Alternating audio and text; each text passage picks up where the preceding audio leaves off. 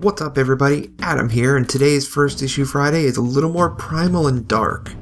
This week we take a look at Dark Engine from Image Comics, written by Ryan Burton and artist John Bivens.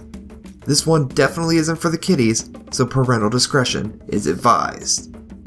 Our story begins with a creature speaking of someone named the Ivory Wolf, while it and other small beings feast around a fire.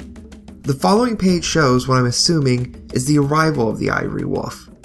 She seems to burst from a dinosaur, and as mentioned on the previous page, takes one of the deceased reptile's ribs and uses it as a weapon. She then cleans herself of the gore and uses more pieces of the dinosaur skeleton to fashion crude weapons. Clearly, she is preparing to hunt.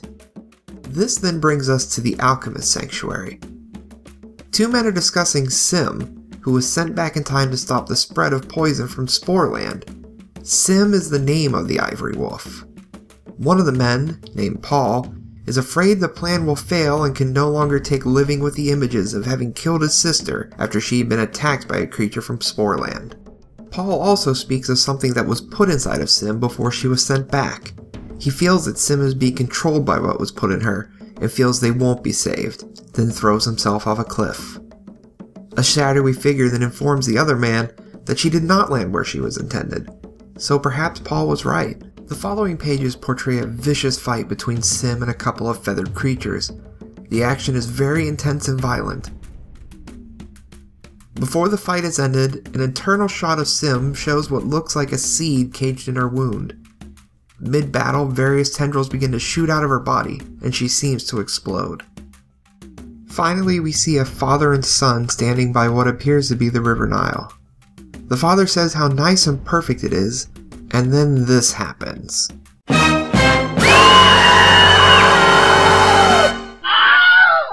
The book ends with a bloody hippo carcass and what looks like Sim laying inside of it.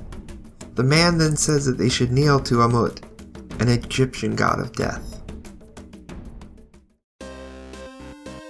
I've read and reread this book several times, and honestly, I still don't truly understand what's going on. Oftentimes, the first issue explains the world and the characters, but I just don't think this one really hit the mark.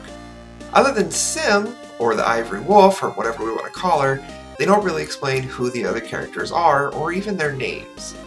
The main story seems to express how this is like a dystopian future, but I'm not even clear on that. While I wasn't very impressed with the overall story, I definitely feel Bivens paints an impressive picture of the violence and desperation envisioned in this world. It does seem somewhat over the top, but they make it sound as if Sim is a killing machine, so the artwork accurately portrays that. As far as recommending this one, I have to not recommend it this week. Maybe I'm missing something in the story, but I just felt lost the whole time. Showing characters but not properly introducing them has always bothered me, and this title does that a lot. Even the established world didn't feel very explained, and I felt detached from that and lacked interest in learning more. And while the art does a good job of storytelling, I didn't really enjoy it. It felt a bit sloppy and cluttered altogether.